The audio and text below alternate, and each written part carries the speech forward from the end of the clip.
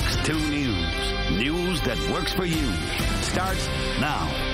Also, there was a special day for a school in Detroit. An historical marker commemorating the long, long history of Detroit's Waldorf School. Fox 2's Camille Amiri has that story.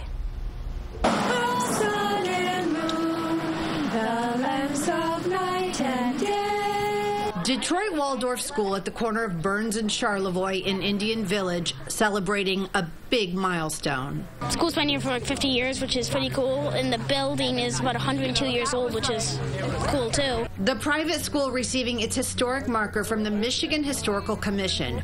Walk inside the school, originally built in 1913, and you feel like you've gone back in time.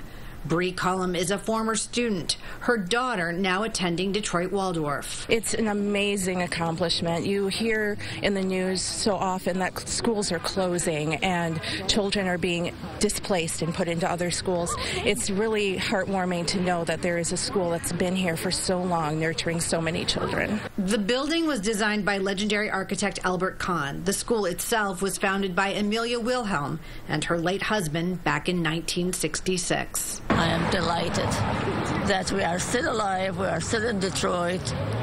I'm still walking. I think it's really cool how, like, Amelia Wilhelm, who, I mean, has co-founded this school. It's really cool how she's still here and she comes to the walkathon too, which is super cool. Simone Shorney is a teacher at Detroit Waldorf. She's also a former student. It's really such a personal experience for me. Growing up, I feel like there was a lot of shame associated with living in the city, and to have this school withstand sort of the challenges and the turmoil of the city, and to still just be this beautiful place where people can come together in community has been really, really important to me. At this school, school, I feel like our class is just a family.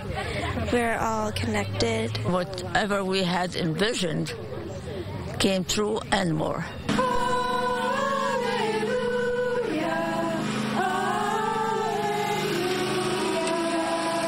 In Detroit, Camille Amiri, Fox 2 News.